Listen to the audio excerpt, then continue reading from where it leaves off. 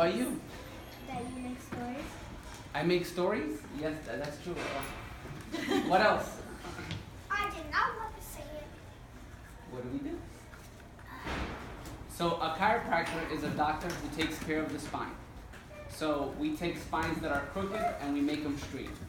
That's what we do.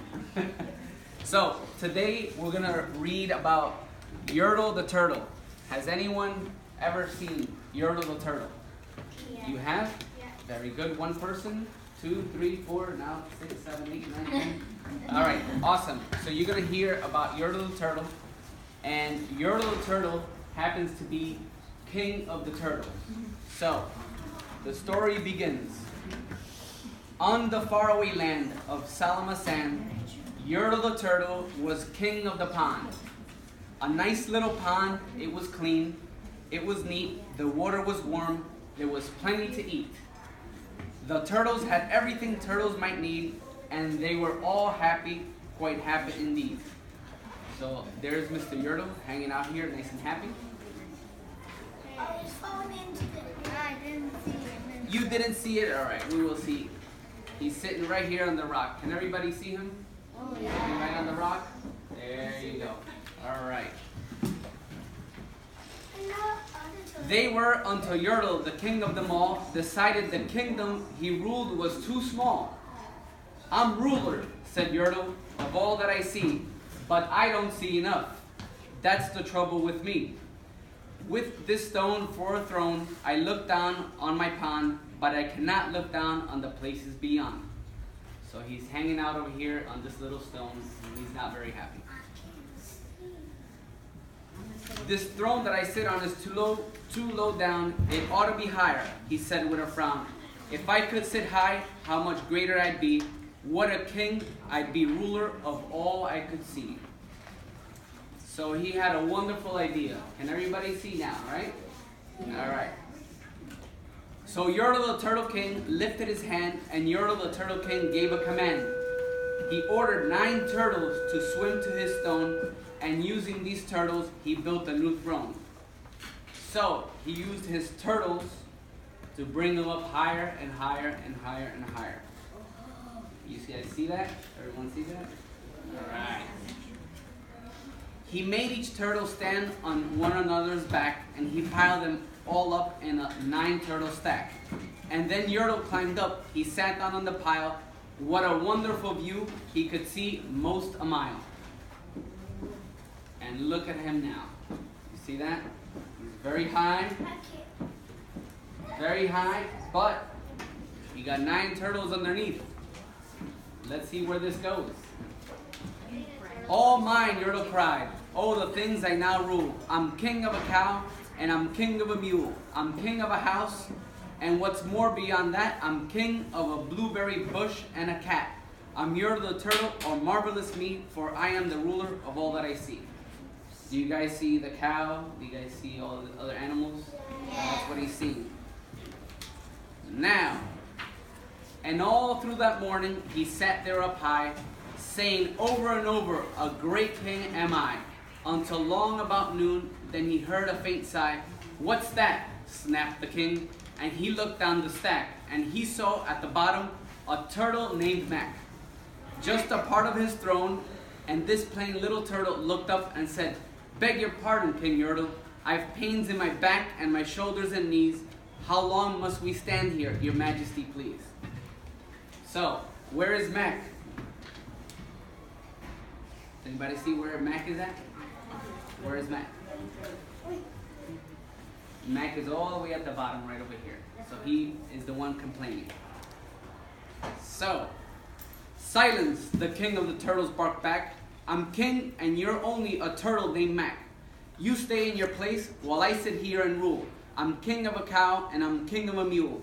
I'm king of a house and a bush and a cat. But that isn't all. I'll do better than that. My throne shall be higher, his royal voice thundered. So pile up more turtles. I want about 200. Wow. He wanted 200 turtles. So look what is happening. All the turtles are starting to climb up. Wait, all the turtles in the world? No, the turtle, 200 of them. Or just one? 200. That's a lot of turtles. Think about that. That's a 209. That's huge. All right. Turtles, more turtles, he bellowed and brayed, and the turtles way down in the pond were afraid.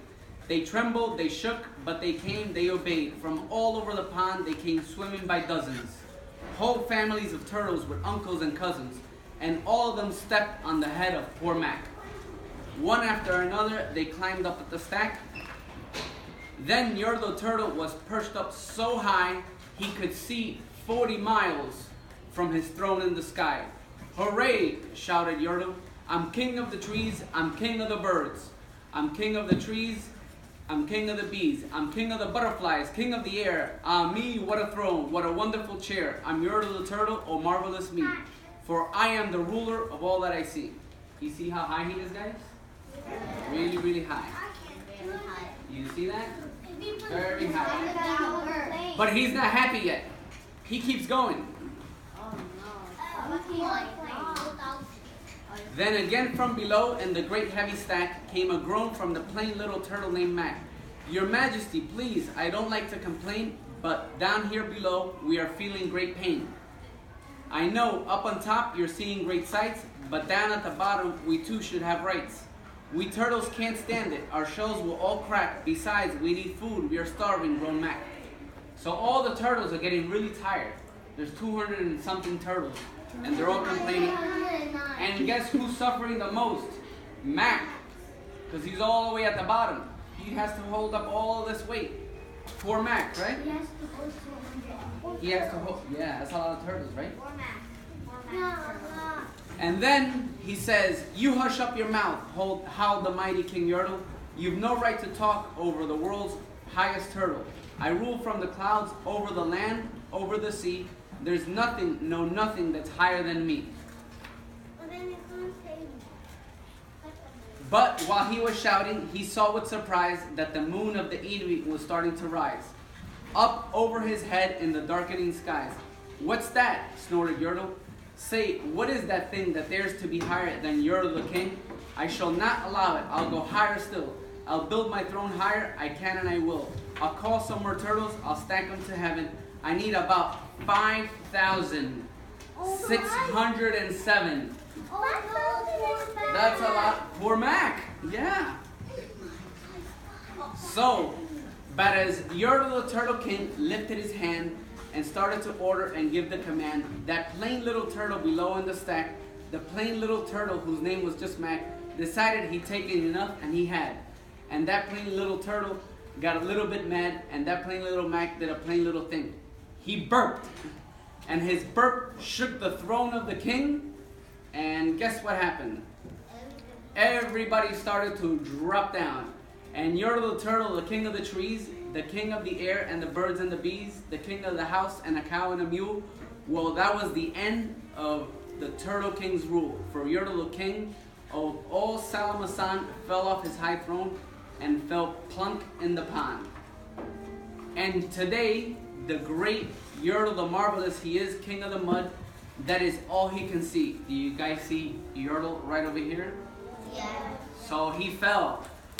And as turtles, and the turtles, of course, all the turtles are free, as turtles and maybe all creatures should be. So, do they know what the moral of the story is? Do you guys know what the word moral means? Maybe? All right. What do you guys what do you guys learn from this story? I'm gonna take just a few people here. What do you learn from this story?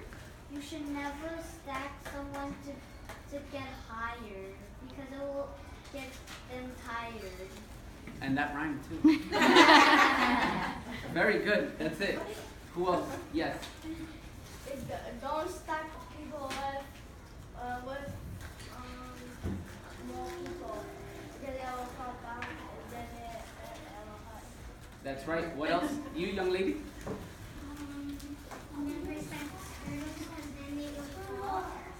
That's true. What else? Let's see. Young man with the blue hat over there. You. No. You.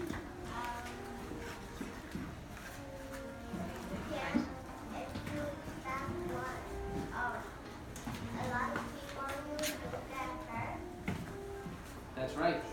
So, what, what I learned from this story, I learned a few things. I learned number one, you need to be kind to all of your people. You need to be kind. You can't use them just for yourself.